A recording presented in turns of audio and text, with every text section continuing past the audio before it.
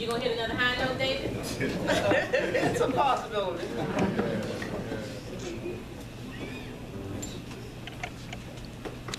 Thank you. Rebecca has added so much light and energy to our lives. It's just amazing. And I'm grateful for her every single day.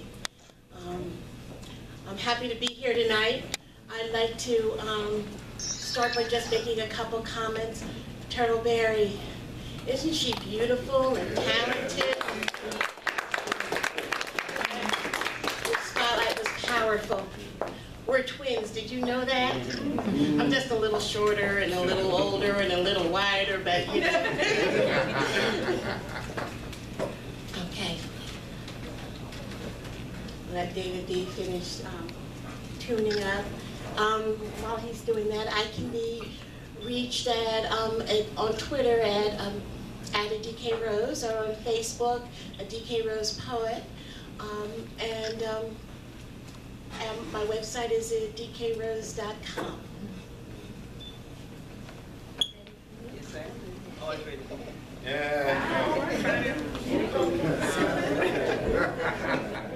So February is Love Month, and we're gonna we're gonna go a little bit around the world, a little bit of a journey. Okay. I'd like to start with this first piece. We must learn to love freely and unconditionally. Just don't get lost in it. Loving is like a jigsaw puzzle. It can be challenging to make the pieces fit. If it proves difficult, we want you to discard it, leaving us with a space that can't be filled. Easier to give up, walk away, find something simpler another day, or not try at all. Sometimes we stamp out love, like pouring water on a raging fire then till it's out, and then shivering from the cold. The reluctance to love is an unwritten song, poem that rests on the page, but never in your heart. It is unfilled potential. Why does the minute flaw loom large and the otherwise perfection grow diminished and devalued? We live in a disposable society, bombarding us with messages that new and different creates happiness. So we litter our lives with discarded loves in search of our soulmates. But there are no perfect souls. In our vanity, we search in vain for someone who will love us more than we love them or ourselves. Invariably, we will be disappointed because loving isn't about someone else. It is about loving God and oneself and putting that into the universe, knowing love is infinite. Though we can't be indiscriminate with our hearts, they are not designed to endure recurrent, deliberate acts of harm, but they are insured with a lifelong supply of love. Hearts possess a policy of possibilities. Protect it, but be sure to resurrect it. You can't heal a heart if you harden or hide it. We must learn to love freely and unconditionally. Just don't get lost in it. Thank you.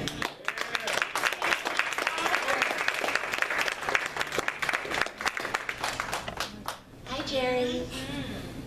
Um, My friend Jerry's hiding there in the corner. Hey, Jeremy. Um, I think I learned to love incon- unconditionally very early in life. Um, I grew up as a military brat, traveling from country to country with a father who was often on TDY or deployed. And um, that took a toll on our lives and our family, but it never embraced the love that I had for him. And so this poem is an old friend, and I'd like to share it tonight.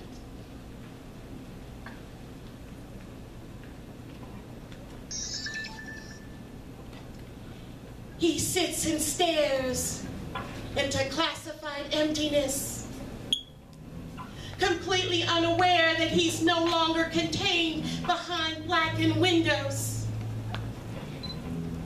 Secrets are safe with him. He will never reveal what he's seen, what he knows. The military has complete control. Even his dreams are censored.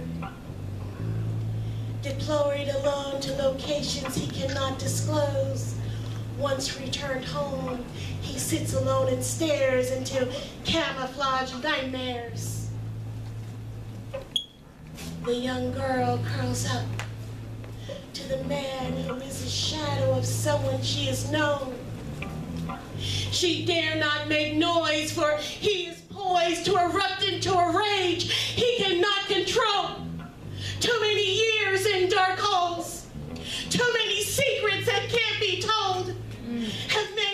stranger in his own home. He is collateral damage, giving his life to a country that devalues his ways, his heart to a wife who rarely feels his embrace, his hopes to a future he cannot face, for he is entrenched in secrets. There is just a patient young girl in barrettes and kinky curls, waiting for her father to smile. It takes a while. In days or weeks, he unfreezes. First eye contact, then a smile to show she pleases him. They listen to jazz. Eventually they dance. He rejoins the living. The military life is far from fair.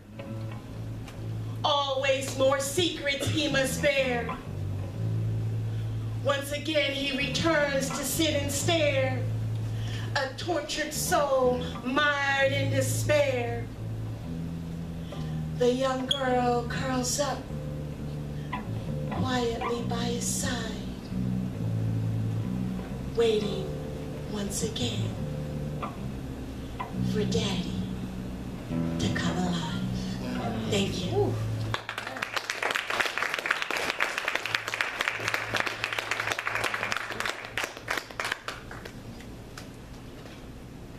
And because part of loving is also loving ourselves, this next piece.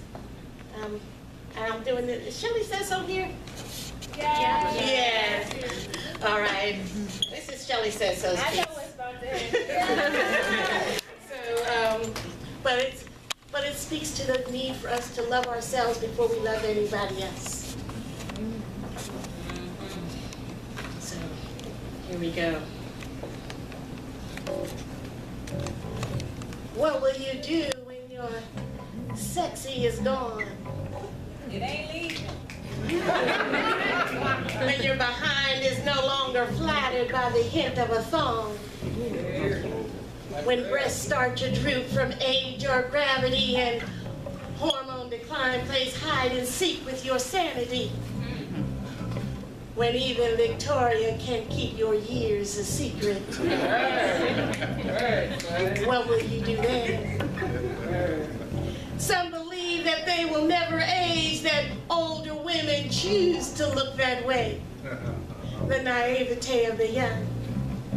Others believe there doesn't matter what they say or do as long as a potential suitor turns to look at you. But the mistakes of the young are penalties paid as we age. Just because a man or woman takes you into their bed doesn't mean they'll ever let you into their head mm. or their heart. We pretend it's real anyway, but you will not always look this way. What will you do then? It's time we begin to look beneath the skin. True beauty radiates out from within. You spend hundreds making sure your body shines. What are you doing to enhance your mind? Sexy will grant you a temporary fine, but it takes much more to win a heart that is loving and kind. I speak the truth, I know. If you don't become wise beyond your years, you will spend your life in tears over one bad relationship after another. It is time you discover that inner beauty has more power than any makeup, dress, or heels. And no one makes him hot, but do you know what makes him feel? Yeah. Heat! You are young and beautiful, and I fear you think that's all you need to keep a lover near. But you will not always look this way. What's inside of you is what makes a lover stay as your youth begins to fade away. There will always be younger and sexier, but you won't need to envy her. When your man loves your beauty emanating from inside, you will always be sexy in heart and in.